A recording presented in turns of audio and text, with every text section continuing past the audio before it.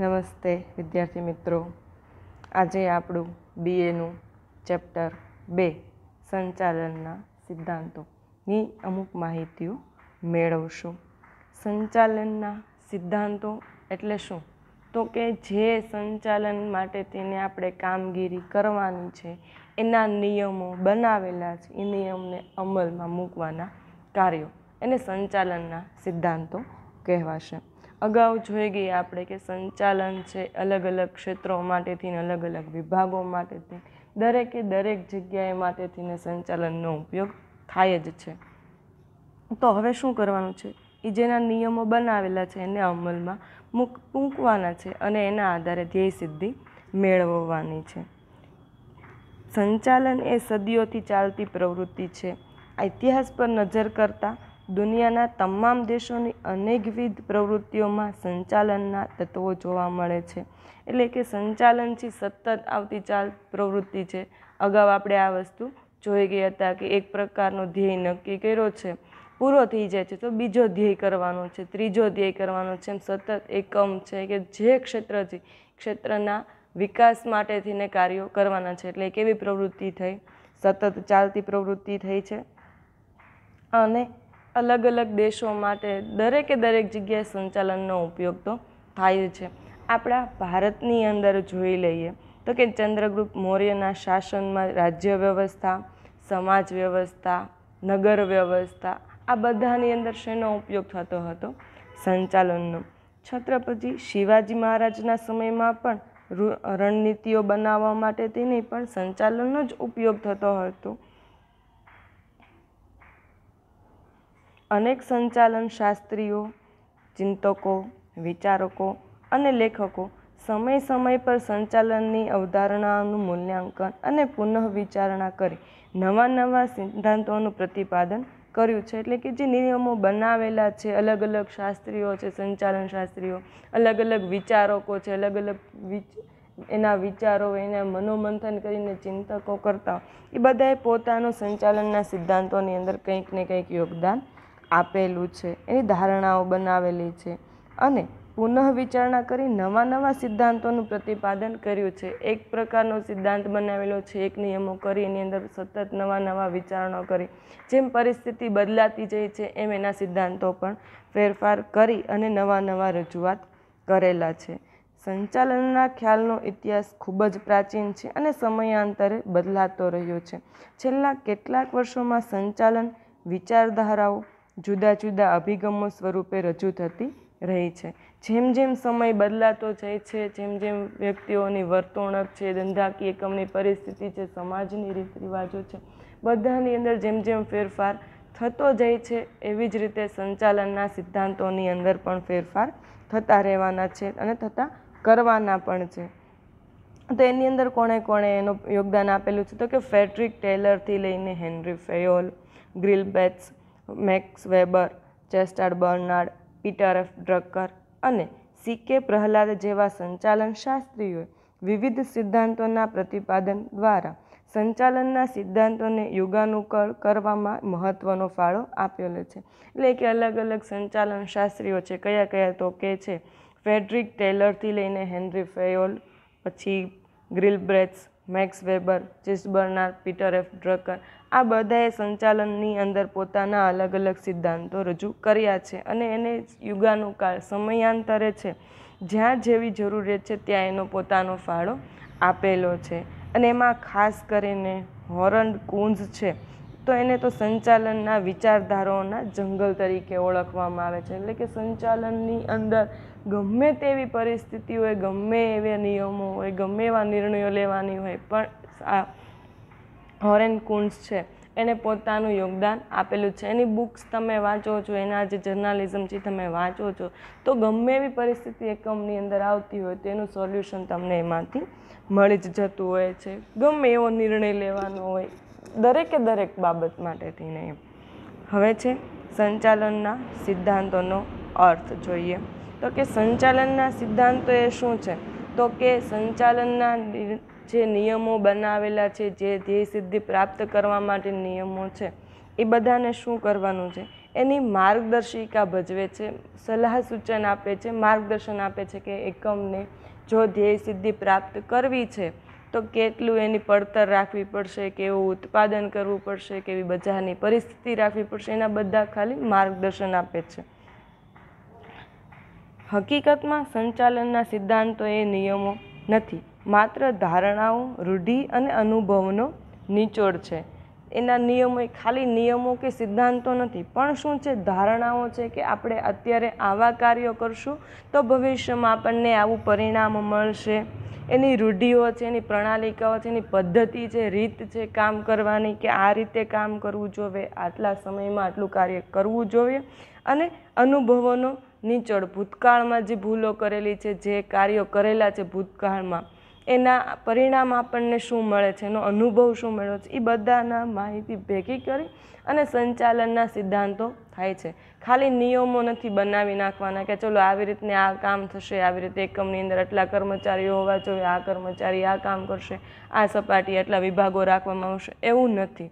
પણ એની પદ્ધતિ નક્કી કરવાની છે, એની ધારણાઓ નક્કી કરવાની છે, એના અનુભવો શું છે એકમમાં, ભવિષ્ય, ભૂતકાળમાં શું કામગીરી કરેલી છે, અત્યારે એનું કેવું પરિણામ આપણને મળી રહ્યું છે, એ દરેકે દરેક બાબતોનો એની અંદર સમાવેશ થઈ જાય છે. જુદા જુદા સંચાલન શાસ્ત્રીઓએ જુદી જુદી પરિસ્થિતિમાં મેળવેલા તારણો અને તે વ્યવહારુ સાબિત થયા છે, તેના અમલીકરણથી સચોટ પરિણામ પણ પ્રાપ્ત થાય છે.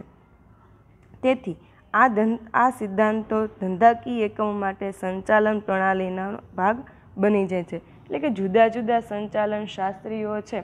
એને જુદા જુદા પરિસ્થિતિઓમાં અલગ અલગ તારણો મેળવેલા છે. દરેકે દરેક તારણોમાંથી એને વ્યવહારુ પરિણામો જે મેળવવા હોય એની અંદર પણ મળી રહેતા હોય છે અને એનો સચોટકારક અમલીકરણ થતો હોય છે. તો એના માટેના જે એને પાલન કરવા માટેના પ્રણાલિકાઓ બધાનો સમાવેશ, શેમાં થશે? સંચાલનના સિદ્ધાંતોની અંદર. ખાસ અગત્યની બાબત હવે આવે છે કે ધંધાકીય એકમોમાં માનવ વર્તણૂકને સાનુકૂળ કરવા માટે અમુક નિયમો, સિદ્ધાંતો ઘડવા પડે છે. જેથી ધ્યેય સિદ્ધિ સરળ બને. આ સિદ્ધાંતોને સંચાલનના સિદ્ધાંતો કહે છે. સંચાલનના સિદ્ધાંતની જો વ્યાખ્યા પૂછે છે, તો તમારે શું લખવાનું છે કે ધંધાકીય એકમોમાં માનવ વર્તણૂકને સાનુકૂળ કરવા માટે અમુક નિયમો, સિદ્ધાંતો ઘડવા પડે છે, જેથી ધ્યેય સિદ્ધિ સરળ બને. એટલે હવે આને આપણે સમજીએ. તો કે ધંધાકીય એકમની અંદર તો તમને લોકોને ખ્યાલ જ છે કે કોને કેન્દ્ર સ્થાને રાખવાના છે? માનવને. માનવ વડે, માનવ દ્વારા અને માનવ માટે જે કાર્યો કરવાના છે બધાને આપણે સંચાલનની અંદર લેતા હતા. તો હવે એના જ કાર્યોને, એની વર્તણૂકને કે કેવી રીતે કર્મચારીઓ ધંધાકીય એકમની અંદર કાર્ય કરે છે, કેવા કાર્ય સંતોષથી કરે છે અલગ અલગ કર્મચારીઓ વચ્ચે કેવા સંબંધો છે અલગ અલગ સપાટીઓ વચ્ચે કામ કરનારા જે માનવો છે, એની વચ્ચે કેવા સંબંધો છે એ બધાને અનુકૂળ કરવાના છે, બધાને એક સરખી રીતે સરળતાથી બધા કામગીરી કરે છે. એના માટેથીને નિયમો બનાવવાના છે કે ઘડવાના છે. ઘડવા પડે. એને શું કહેવાય? સંચાલનના સિદ્ધાંતો કહેવાય. એના મદદથી શું કરવાનું છે? ધ્યેય સિદ્ધિ સરળ કરવાની છે. ધંધાકીય એકમે જે ધ્યેય નક્કી કર્યો છે કે નફો કરવાનો છે, કે ધંધાકીય એકમનો વિકાસ કરવાનો છે, હરીફાઈમાં ટકી રહેવાનું છે કે જે ધ્યેય બનાવેલો છે એ ધ્યેયને પાર પાડવા માટે થઈને કાર્યો કરવાના છે. હવે જોઈએ આપણે સંચાલનનો ખ્યાલ. સંચાલન એ કળા અને વિજ્ઞાનનો સમન્વય છે. અગાઉ આપણે છે, આ ટોપિક જોઈ ગયા હતા કે સંચાલનની કળા છે, સંચાલનની વિજ્ઞાન છે અને સંચાલન કળા અને વિજ્ઞાન બંનેનો સમન્વય છે. કળાની અંદર કઈ વિગતો આવતી હતી? તો કે અન્ય વ્યક્તિ પાસેથી કેમ કામ કરાવવાનું છે? એક પ્રકારની કળા હતી. વિજ્ઞાન હતું. કેવી રીતે? તો કે એના વિજ્ઞાનના અંદર કેમ એના નિયમો આવે છે, એના સિદ્ધાંતો આવે છે? એવી જ રીતે સંચાલનના પણ નિયમો હતા એના સિદ્ધાંતો અને સમન્વય. તો કે તમારી પાસે કામ કરવાની કળા છે, કળાનો એના સિદ્ધાંતોની માહિતી મેળવી અને વ્યવસાય તરીકે તમે એનો ઉપયોગ કરો ને એમાંથી તમે છે આવક મેળવો. આ હતો એનો સમન્વય. વિજ્ઞાન હોવાથી તેના સિદ્ધાંતો હોય તે સ્વાભાવિક છે. શુદ્ધ વિજ્ઞાનની માફક સંચાલનના સિદ્ધાંતો જડ નથી. વિજ્ઞાન છે એટલે સ્વાભાવિક છે ચોક્કસ છે તે કે એના નિયમો હોવાના છે, એના સિદ્ધાંતો હોવાના છે. પણ શુદ્ધ વિજ્ઞાનની જેમ એના સિદ્ધાંતો છે જડ નથી.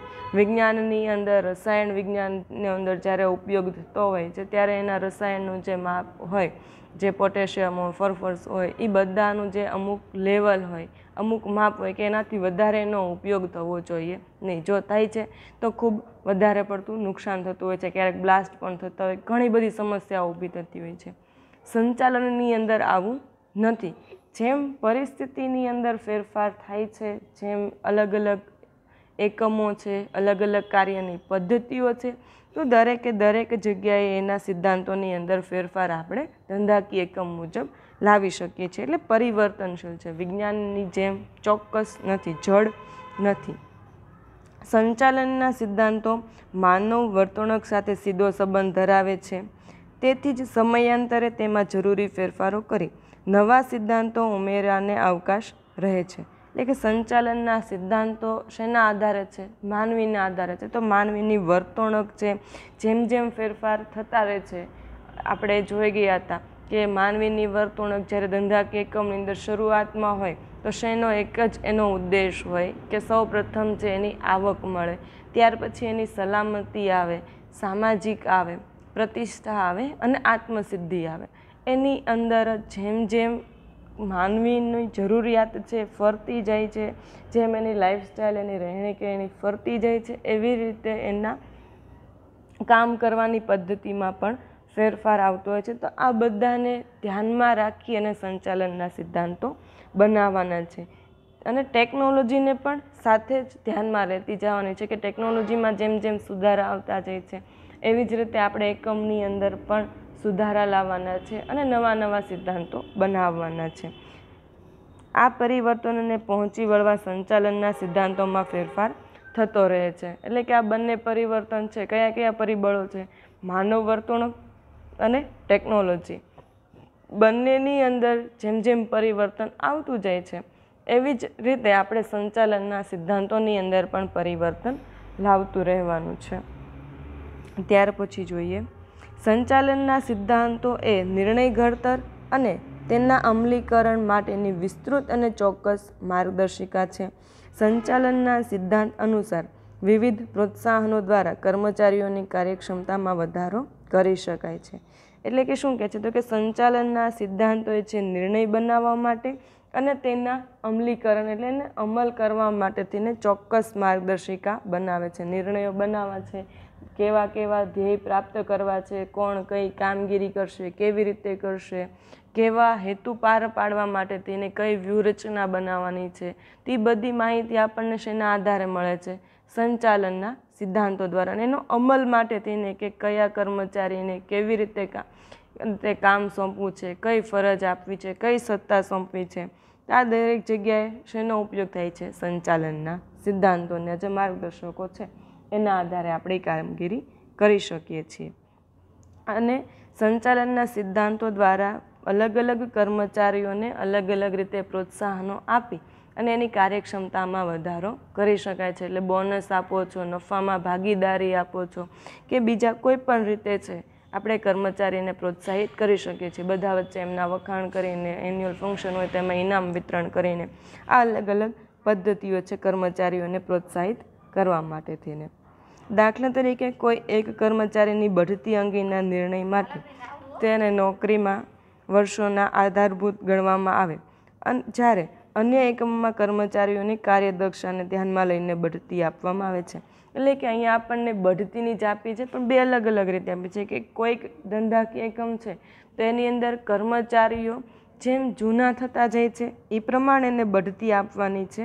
અને અમુક ધંધાકીય એકમમાં, તો કે કર્મચારીની કામ કરવાની કાર્યક્ષમતા કેટલી છે, કેટલું વધારે કામગીરી કરે છે, એના આધારે એને બઢતી આપવાની છે. એમ અલગ અલગ એકમની અંદર અલગ અલગ નિયમો હોય છે, અલગ અલગ પદ્ધતિઓ એના આધારે કર્મચારીઓને પ્રોત્સાહિત કરવાના છે. સંચાલનના સિદ્ધાંતો તથા સંચાલનની પ્રયુક્તિઓ વચ્ચેનો ભેદ સમજવો અત્યંત જરૂરી છે.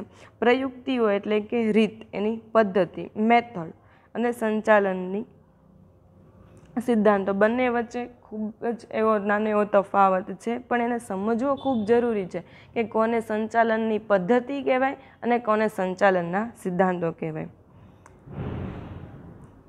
હવે જોઈએ.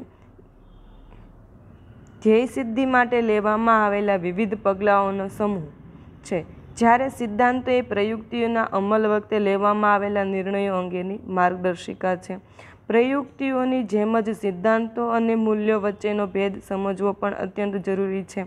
મૂલ્ય એ સ્વીકાર્ય અથવા ઇચ્છનીય હોય છે તે નૈતિકતા સાથે સંબંધ ધરાવે છે. જ્યારે સિદ્ધાંતો એ માનવ વર્તણૂક માટેનું સર્વસામાન્ય સત્ય તથા માર્ગદર્શિકા છે. એટલે કે ધ્યેય સિદ્ધિ કરવા માટે થઈને જ એની પ્રયુક્તિઓ અને એના પગલાઓ, વિવિધ પગલાઓ એના આધારે જ આપણે છે ધંધાકીય એકમનું સંચાલનના સિદ્ધાંતો કરવાના છે. સિદ્ધાંતો એટલે શું છે? તો કે એની માર્ગદર્શિકાઓ છે કે આટલા આટલા કાર્ય કરવાનું છે અને પ્રયુક્તિઓ એટલે મેથડ.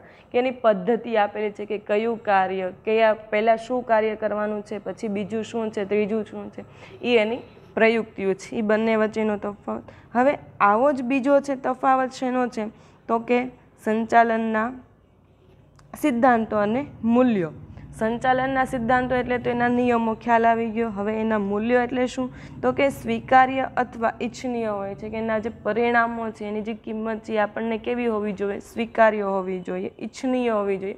ગમે એવી હોવી જોઈએ, મન ફાવે એમ ન હોવી જોઈએ. એના નૈતિકતા સાથે સંબંધ ધરાવે છે કે ધંધાકીય એકમની અંદર, ધંધાકીય એકમે કેવી રીતે કરવું તો કે સમાજના હિત માટે થઈને જ કરવાનું છે. ગ્રાહકને એના જેટલા નિયમો છે, એના જે સિદ્ધાંતો છે એ બધા એને પાલન કરવાના છે. ગ્રાહકની સાથે ગેરનીતિ કરવાની નથી. માલ સામાનના ઉત્પાદન અંદર એની ચીટ કરવાની નથી. આ બધાનું ધ્યાન રાખી અને સંચાલનના સિદ્ધાંતો બનાવવાના છે. હવે જોઈએ સંચાલનનું સ્વરૂપ. કેવા પ્રકારનું સંચાલન હોવું જોઈએ એના સિદ્ધાંતો છે, કેવા કેવા રીતે હોવા જોઈએ. તેમાં સૌપ્રથમ આપણે જોઈએ કે સાર્વત્રિક. સાર્વત્રિક એટલે શું? તો કે દરેકે દરેક જગ્યાએ છે, સંચાલનના સિદ્ધાંતોને આપણે લાગુ કરી શકીએ છીએ. દરેકે દરેક જગ્યાએ એનો ઉપયોગ થઈ શકે છે. જ્યાં સામૂહિક પ્રવૃત્તિ થતી હોય એ બધી જગ્યાએ સંચાલનના સિદ્ધાંતો હોય. પણ એની અંદર એક તકલીફ શું પડે છે? તો કે અલગ અલગ એકમો માટે થઈને અલગ અલગ નિયમો હોય. બધી જગ્યાએ હોય, પણ બધાની પરિસ્થિતિ જેમ બદલાતી જતી હોય, એમ એની અંદર આપણે ફેરફાર કરતો રહેવો પડે. હવે ડિટેલમાં જોઈએ. સાર્વત્રિક સ્વીકૃતિ. સંચાલનના સિદ્ધાંતો મોટાભાગના ધંધાકીય એકમોને લાગુ પાડી શકાય છે. જ્યાં જ્યાં સામૂહિક માનવીય પ્રયત્નોની જરૂરિયાત છે, ત્યાં આ સિદ્ધાંતોની આવશ્યકતાઓ રહે છે. જોકે ધંધાકીય એકમના પ્રકાર, સ્વરૂપ, પ્રવૃત્તિ અને કદ મુજબ સંચાલનના બધા સિદ્ધાંતો લાગુ પાડવાની માત્રામાં ફેરફાર હોય છે. પરંતુ મોટાભાગના ધંધાકીય એકમોમાં સંચાલનના સિદ્ધાંતો લાગુ પાડી શકાય છે. તેથી સંચાલનના સિદ્ધાંતોને સર્વવ્યાપક કે સાર્વત્રિક કહે છે. એટલે કે મોટાભાગના એકમોમાં આપણે સંચાલનના સિદ્ધાંતોનો ઉપયોગ કરી જ શકીએ છીએ અને અમલમાં લાવી જ શકીએ છીએ, પણ અમુક જગ્યાએ નથી લાવી શકતા કે એના ધંધાનો પ્રકાર અલગ હોય, પ્રવૃત્તિ અલગ હોય, એનું માળખું અલગ હોય, એનું કદ અલગ હોય, તો એવી જગ્યાએ એના સિદ્ધાંતોની અંદર થોડા ઘણા ફેરફાર કરવા પડતા હોય છે. બીજો ટોપિક છે પરિવર્તનશીલ. પરિવર્તનશીલ એટલે શું? તો કે સમય અને સંજોગો પ્રમાણે સંચાલનની સિદ્ધાંતોની અંદર ફેરફાર કરી શકીએ છીએ. જેમ જેવી પરિસ્થિતિ આવે છે, તો એના આધારે આપણે સંચાલનના સિદ્ધાંતની અંદર ફેરફાર લાવી શકીએ. હવે જોઈએ ડિટેલમાં. સંચાલનના સિદ્ધાંતો એ જળ તારણ નથી, પરંતુ પરિવર્તનશીલ છે. સંચાલકને જ્યારે અને જેવી પરિસ્થિતિમાં જરૂર જણાય, ત્યાં તેમાં પરિવર્તનશીલને અવકાશ રહે છે. કેટલીક પરિસ્થિતિમાં આ સિદ્ધાંતો બંધ બેસતા ન જણાય, ત્યારે સંચાલકોને તેમાં ફેરફાર કરવાની છૂટ રહે છે. દાખલા તરીકે કાર્ય વિભાજનનો સિદ્ધાંત મોટા એકમોમાં એક સમાન રીતે લાગુ કરી શકાય. પરંતુ નાના એકમોમાં તેટલી જ માત્રામાં કાર્ય વિભાજનનો સિદ્ધાંત લાગુ કરી શકાતો નથી. એટલે કે અલગ અલગ એકમો માટે થઈને એના સિદ્ધાંતો અલગ અલગ હોય છે. અહીંયા આપણને ઉદાહરણ આપેલું છે કે કાર્ય વિભાજન એટલે તમે કર્મચારીઓને કાર્યની સોંપણી કરો છો જે ઉચ્ચ સપાટી, મધ્ય સપાટી, તળ સપાટી એમ અલગ અલગ એના કાર્યો હોય છે. તે ક્યાં તમને અસર કરે છે? તો કે ધંધાકીય એકમનું કદ જો મોટું હોય, તો ત્યાં તમે આવી રીતે કાર્યોનું વિભાજન કરી શકો છો. અલગ અલગ કર્મચારીઓને અધિકારીઓને અલગ અલગ કાર્યો સત્તા, ફરજો સોંપી શકો છો. પણ જ્યાં ધંધાકીય એકમનું કદ નાનું છે, તો ત્યાં તમે આવું કાર્ય કરી જ નથી શકતા. હવે એકમ પેઢી હોય કે એક જ માલિક હોય ધંધાકીય એકમનો, અને ખૂબ નાની કરિયાણા એવી દુકાન હોય, તો ત્યાં આવું કાર્ય વિભાજનનું કાર્ય શક્ય જ નથી બનતું. દરેકે દરેક એને એક જ કરવાનું હોય છે. એ. પછી છે સામાન્ય માર્ગદર્શિકાઓ.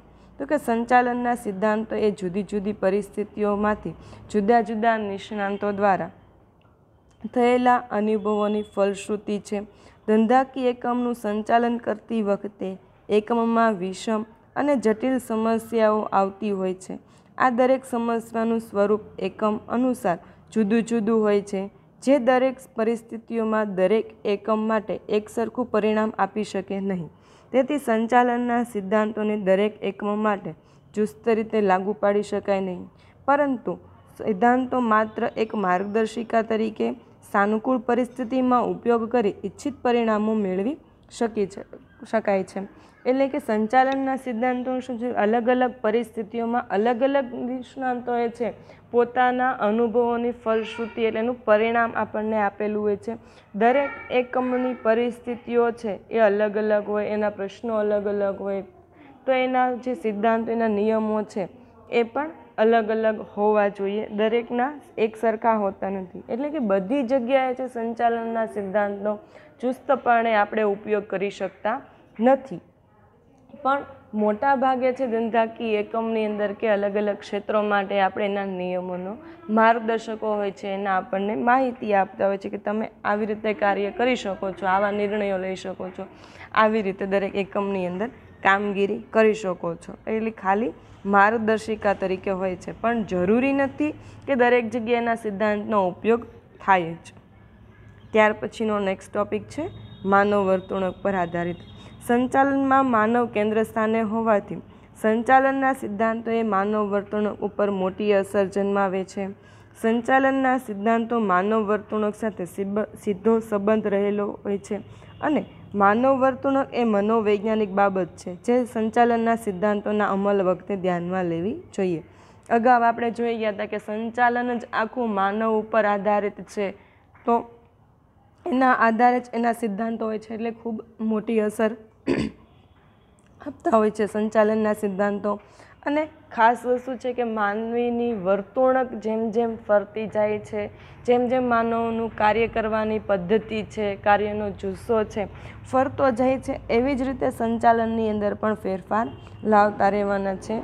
એ એક ખૂબ સાચી બાબત છે એના માટે થઈને. અને એના અમલ વખતે જ્યારે સંચાલનના સિદ્ધાંતના આપણે અમલ માટે મૂકીએ છીએ એકમની અંદર, ત્યારે એને ખૂબ ધ્યાનમાં લેવાની છે કે કર્મચારી કે અલગ અલગ અધિકારીઓ છે, એકમની અંદર કેવી રીતે કામગીરી કરવા માટે માગે છે, કેવી રીતે પોતે કામગીરી કરવા માંગે છે, એ બધી બાબતોને ધ્યાનમાં લઈ અને એ સિદ્ધાંતોનો અમલમાં મૂકવામાં આવે છે. આકસ્મિકતા. સંચાલનના સિદ્ધાંતો લાગુ પાડવા માટેનું એક તત્વ આકસ્મિકતા પણ છે. કોઈ એક ચોક્કસ અનિવાર્ય પરિસ્થિતિઓમાં આ સિદ્ધાંતનો ઉપયોગ દ્વારા એકમ જરૂરી નિર્ણય લઈ ધ્યેય સિદ્ધિ સરળ બનાવી શકે છે. જેમ કે કર્મચારીઓને યોગ્ય અને વ્યાજબી મહેનતાણું ચૂકવવું જોઈએ. શું આ યોગ્ય અને વ્યાજબી છે? તે આકસ્મિકતા કે જરૂરિયાતને આધારે અસર કરતા પરિબળોને ધ્યાનમાં લઈને નક્કી કરી શકાય છે. આકસ્મિકતા એટલે કે સંચાલનના સિદ્ધાંતો છે, એને લાગુ પાડવા માટેની એક તત્વ છે આકસ્મિકતા પણ છે. કોઈ ચોક્કસ અનિવાર્ય એટલે જરૂરી પરિસ્થિતિની અંદર છે એના સિદ્ધાંતોનો જ્યારે ઉપયોગ કરીએ છીએ, ત્યારે નિર્ણયો લઈ શકાય છે અને ધ્યેય સિદ્ધિ સરળ કરી શકાય છે.